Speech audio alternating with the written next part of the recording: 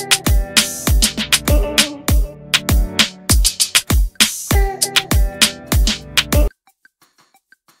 กกลมพรหมลิขิตเลดี้ปรางเผยเสื้อเหมือนโอบเป็นความบังเอิญโลกกลมพรหมลิขิตเลดี้ปรางเผยเสื้อเหมือนโอบเป็นความบังเอิญยอมรับชวนกันเที่ยวต่อที่ภูเก็ต ถูกจับตาความสัมพันธ์เป็นระยะระยะ สำหรับนักแสดงสาวเลดี้ปรางหรือปรางกัญญ์ณรัณวงขจรไกลที่ชาวเน็ตเห็นใส่เสื้อคู่เบอร์สิบเหมือนกันเด๊ะกับนักแสดงหนุ่มโอบโอบนิธิวิวัฒนวรางทำเอาแฟนๆจิ้นทวีคูณเข้าไปอีกโอบปรางเที่ยวภูเก็ต โอบปรางเสื้อคู่ล่าสุด วันที่ 15 มีนาคม เจ้าตัวออกมาแก้ข่าวว่าเป็นเรื่องบังเอิญ ทั้งเรื่องที่ไปเจอกันที่ภูเก็ต และเรื่องของเสื้อคู่ที่ถูกจับตาอยู่ตอนนี้ โดยปรางเล่าว่า จะบอกว่าไม่ได้ไปก็คงไม่ใช่หัวเราะไปทำงานก่อนค่ะ จริง ๆ มีงานอีเวนต์เราเลย ชวนน้องสาวอยู่ต่อคือไปทำงานคนเดียว แต่ก่อนหน้านั้นมันมีคนอื่นไปหรือเปล่ามันก็อีกเรื่องหนึ่ง ส่วนที่คนจับเทียบรูปเรากับโอบคือไปเจอกันจริงไหมจริง ๆ เพิ่งมาทราบทีหลังเหมือนกันค่ะ ว่าไปงานเดียวกันก็คุยกันว่าเดี๋ยวเราจะอยู่เที่ยวต่อนะ เขาก็บอกว่าเขาจะอยู่ต่อเหมือนกัน มันก็เป็นเรื่องบังเอิญก่อนหนึ่ง แต่หลังจากนั้นมันก็ไม่บังเอิญ เพราะก็ตั้งใจชวนกันไปทานของอร่อย มีไปเที่ยวกันไหนๆก็อยู่ที่เดียวกันแล้ว แต่ไม่ได้ไปสองคนไปกันเยอะมากๆค่ะ ถ้าคนเจอตามที่ต่างๆ ก็ไม่ได้ปิดอะไรก็ทำตัวธรรมชาติ อย่างที่บอกว่าอยากให้ทุกอย่างไปตามธรรมชาติ เราก็ไปกันเยอะก็เดินกันปกติเลยค่ะ ในภูเก็ตมีฟีนใจวิววิวบ้างไหม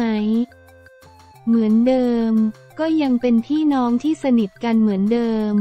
เพราะว่าไม่รู้ เขิน ใจเย็นใจเย็นสิคะ หนูอยากให้ทุกอย่างเป็นธรรมชาติจริง ๆ เข้าใจว่ามีคนเชียร์เยอะ แล้วมีข่าวอะไรออกมาเรื่อยๆ มันก็ทำให้คนอิน และอยากให้มันเป็นจริงจากคู่จิ้น แต่สำหรับหนูหนูโตแล้วแล้วเราก็ผ่านอะไรมาเยอะมากๆ เลยคิดว่าทุกอย่างมันควรจะต้องเป็นธรรมชาติ แล้วก็ใช้เวลามากกว่านี้ ก็คือต่างคนต่างให้กำลังใจกัน อย่างเขามอบความรู้สึกดีๆ ให้กัน มันมีแต่เรื่องดีๆ เกิดขึ้นแหละ แต่สุดท้ายแล้วมันจะไปในทิศทางไหน หนูก็ไม่สามารถตอบได้เหมือนกัน รวมถึงเขาด้วยก็ให้เวลามันนำพาไป คนแซวแคปชั่นตกหลุมรักท้องฟ้า นั่นน่ะสิ หัวเราะก็ในรูปมีแต่ท้องฟ้าแล้วมันจะตกหลุมรักใคร หัวเราะ ท้องฟ้าแปลว่าท้องฟ้าค่ะ คนบอกภูเก็ตหวานมาก จริงๆ ไปกันหลายคนถ้าไม่ได้มีงานนั้นก็คงไม่ได้มีโอกาสไปเที่ยวด้วยกัน รูปที่ลงใครถ่ายให้หรือสลับกัน หนูถ่ายรูปไม่เก่ง แต่ที่คนที่ถ่ายให้เรามีหลายตากล้องเลยค่ะ ก็มีของเขาด้วย เขาถ่ายรูปโอเคไหม เขาก็ถ่ายโอเคอยู่ค่ะ เขาถ่ายรูปเก่งอยู่แล้ว ส่วนเราไม่ได้ถ่ายให้เขาเลยชอบถูกถ่ายมากกว่า หัวเราะ ออกทริปด้วยการรู้จักกันมากขึ้นไหม ก็รู้จักกันมากขึ้น เพราะได้ไปเที่ยวด้วยกัน แต่จริงๆ ก็นั้นแหละค่ะ ทุกๆ อย่างก็ตั้งแต่วันแรกที่รู้จักกันทำงานร่วมกันจนกระทั่งทุกๆ คนจิ้นจนทำให้เราได้ทำความรู้จักกันมากขึ้น มันก็ค่อยๆ พัฒนาไปเรื่อยๆ มีกู๊ดไนกันทุกคืนไหม ไม่มี หัวเราะเขิน ไม่มีมีค่ะ ส่วนใหญ่จะให้กำลังใจในการทำงานมากกว่า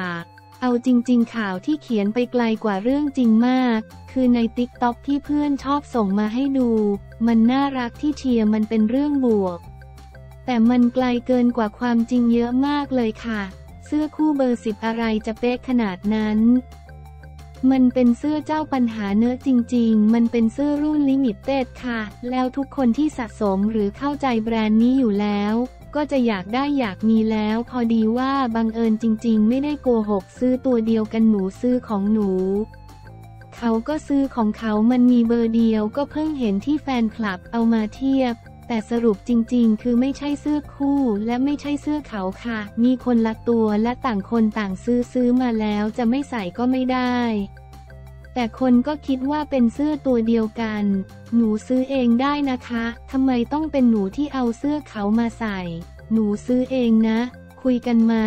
ก็มีไปวีนเขาเล็กน้อยค่ะ เขาก็ขำบอกว่าช่วยไม่ได้เขาใส่ก่อน หัวเราะ ไม่รู้หรอกว่าใครซื้อก่อน แต่เขาใส่ก่อนหนูใส่ที หลังเลยกลายเป็นว่าหนูเอาเสื้อเขามาใส่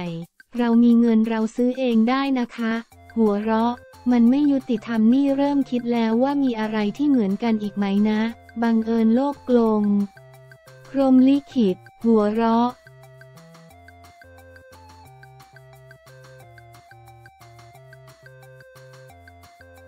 ประชันหน้าไฮโซพบงานแต่งเมบิ๊กกั้นประตูเงินสุดโหด ที่เอแซลแค้นเพื่อนเจ้าบ่าวได้เลิกดีวันนี้ วันที่ 16 พฤศจิกายน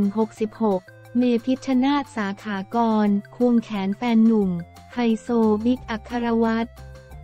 แต่งงานเป็นที่เรียบร้อยตามแบบพิธีไทยและจีน โดยมีเพื่อนในวงการร่วมงานเพียบ งานนี้มีเพื่อนเจ้าสาวมากันครบทีม นำทีมโดยเอสุภชัย อ้ำพัชราภา วุ้นเส้นวิริธิภา เมปฏิดา ครีมเปรมศินี ป้ยปานวาดและอื่นๆ ด้านเพื่อนเจ้าบ่าวก็ไม่น้อยหน้านำทีมโดยไฮโซพบประธานวงพรประภา อดีตหวานใจอ้ำพัชราภาและพีทกันตะว่าที่เจ้าบ่าวของดาราสาวแก้มบุ๋มปริยาดาและอื่นๆ ซึ่งต้องบอกเลยว่า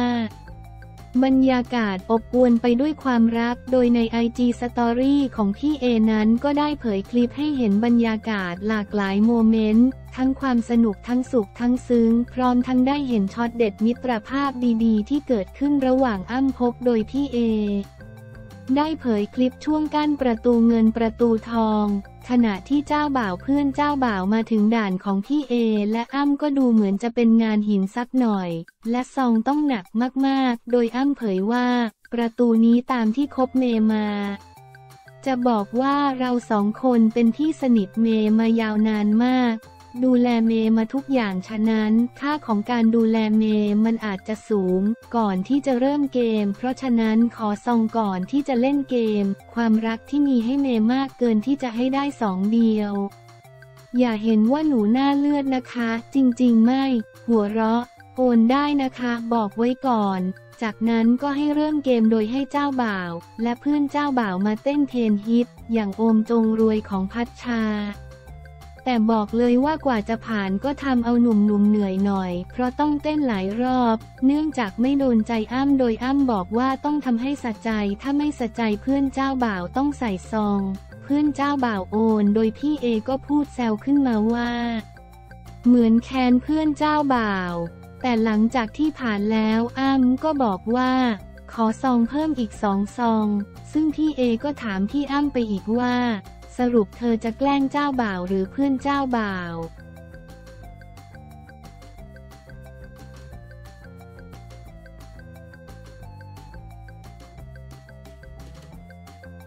แต่งแล้วจ้า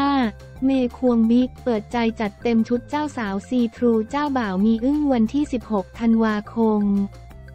66 ที่ห้องเรสซิเดนต์ชั้นเอ็มโรงแรมแกรนด์ไฮแอทเอราวัน กรุงเทพมหานครนักแสดงสาวเมย์พิชญ์นาฏสาขากรได้ควงนักธุรกิจหนุ่มบิ๊กอัครวัตรคงสิริการเปิดใจถึงพิธีแต่งงานในวันนี้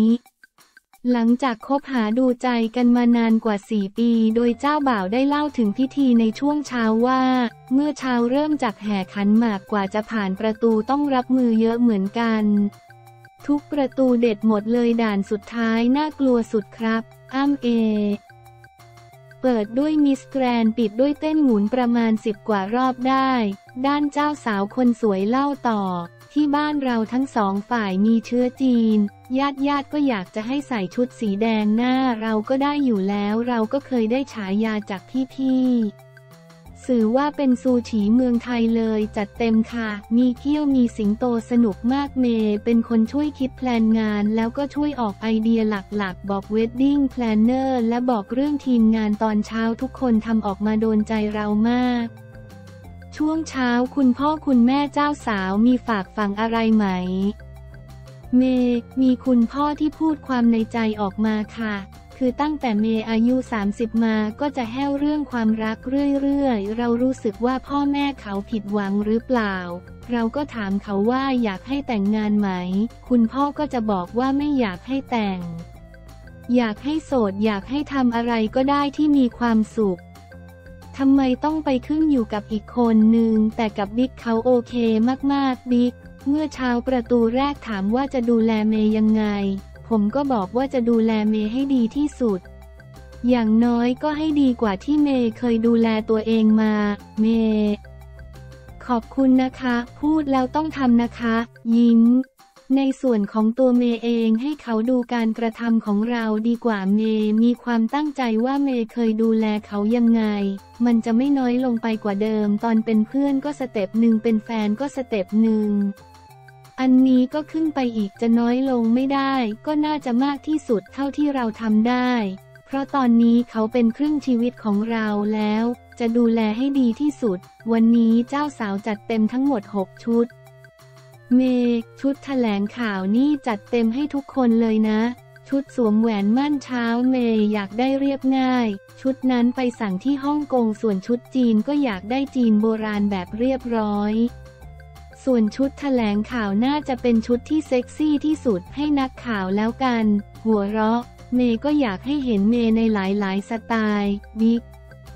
ชุดนี้ก็เพิ่งเห็นเมื่อกี้เหมือนกันครับ เอาจริงๆ ผมไม่เห็นมาก่อนสักชุดเลย ชุดนี้ตอนที่เห็นเขาเดินออกมาก็คิดว่าคงจะแต่งตัวยังไม่เสร็จ ยิ้ม แต่สวยมากครับ วันนี้ถ้าคะแนนเต็ม 10 ให้ 15 ครับ ถามถึงสินสอด เมย์ มีเงินสดนาฬิกาเครื่องเพชรแหวนแล้วตัวกับหัวใจค่ะ หัวเราะ เขาเป็นคนไม่ชอบอวด แต่เมอวดแล้วกัน เพราะเมชอบ แหวนไม่รู้ว่ากี่กะรัตแต่ก็ใหญ่ดี เห็นก่อนหน้านี้มีเอาซองไปให้อ้ำพัชราภา ก่อนด้วย เมหัวเราะ คือเราเคยเล่นกันเมื่อสิบปีที่แล้วตอนนั้นเขาอินเลิฟและเขาก็มีวี่แววว่าอาจจะเป็นเขา เพราะเป็นคนที่ชวนเมย์เล่นบอกว่าถ้าพี่แต่งเดี๋ยวพี่ให้แสนหนึ่งเมย์ก็เลยพูดไปเล่นๆว่าได้ ถ้าเมย์แต่งเมย์ก็จะให้แสนหนึ่งแล้วพี่หนิงปณิตาพัฒนาฮิรัน นั่งอยู่ด้วยเขาก็บอกว่าฉันด้วยสิสิ ถ้าเกิดเมย์จะโสดอย่างนี้ตลอดไป พี่จะเลี้ยงข้าวเมตลอดชีวิต แต่ถ้าเมแต่งเมื่อไหร่พี่ขอด้วยนะห้าหมื่นแล้วเมื่อวานเมขับรถไปถึงบ้านเขาเลยนะ เมย์ตั้งใจจะเอาเงินห้าหมื่นไปให้พี่หนิง แต่นางเข้าโรงพยาบาลนางไม่สบาย เมื่อเช้าเมย์ก็บอกว่าไม่ต้องมานะ นอนไปเถอะ หัวเราะ แต่ถ้าเย็นนี้ไหวก็มา ราะเปิดห้องให้แล้ว แต่ถ้าจะมาแล้วเป็นลมอย่ามาเมย์ไม่ต้องการซีนนั้นนอนในห้องแล้วเดี๋ยวเมย์ขึ้นไปถ่ายรูปด้วย แค่นี้เมย์แฮปปี้แล้วส่วนพี่อ้ำวันนั้นกินข้าวกับเขา แล้วก็เลี้ยงเขาวันเกิด ก็เลยคิดว่าให้เขาดีกว่า แต่ความน่ารักของเขาคือวันนี้คือพี่อ้ำและพี่เอ สุภชัยศรีวิจิตรเขาเห็นเมย์ตั้งแต่ตอนเรียนมหาวิทยาลัย ตั้งแต่เมย์เพิ่งเข้าวงการใหม่ๆ เป็นแค่นางเอก MV เขาดูแลเมย์มานานมาก สนิทกัน 20 กว่าปีแล้ว เมย์ก็รู้สึกว่าเมย์อยากได้ตัวแทนผู้ใหญ่ที่เป็นคนบันเทิง ก็ต้องสองคนนี้เท่านั้นที่เป็นทั้งเพื่อนทั้งพี่ทั้งผู้ใหญ่ของเรา เราก็เลยขอให้เขายกน้ำชาปรากฏว่าเขาก็เอาซองนั้นมาคืนเรา และทบกลับมาอีกหนึ่งแสนส่วนพี่เอก็หนาเหมือนกัน แต่เมย์ยังไม่รู้ว่าเท่าไหร่ขอกลับไปแกะก่อน หัวเราะ เพราะเมย์คิดว่าคู่นี้เขาลับกัน เมย์ขอบคุณทุกคนที่ติดตามเรื่องราวความรักของเมย์มาตลอด ให้กำลังใจกันมาตลอดซึ่งเมย์ซาบซึ้งมาก ตั้งแต่เมย์เป็นดาราขึ้นมาก็มีคนให้ความสนใจมาตลอดว่าเขาจะได้แต่งงานไหม เขาจะได้แต่งงานกับใครจะขึ้นคานนาน แค่ไหนวันนี้ทุกคนหายห่วงนะคะ ตั้งแต่เมย์รู้จักบิ๊กมา เขาเป็นคนที่น่ารักตอนที่เป็นเพื่อนกัน เขาเป็นเพื่อนที่ดีมาก ตอนเป็นแฟนเมย์ก็มีความสุขมาก หลังจากนี้เราก็จะสร้างครอบครัวไปด้วยกันทุกคนไม่ต้องเป็นห่วง จะมีแต่เรื่องดีๆ ให้ทุกคนได้เห็นและแฮปปี้ด้วย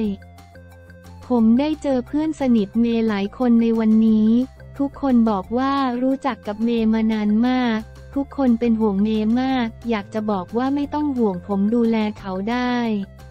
ไม่อย่างนั้นผมคงไม่ขอเขาแต่งงานหายห่วงได้ครับวิกกล่าวทิ้งท้าย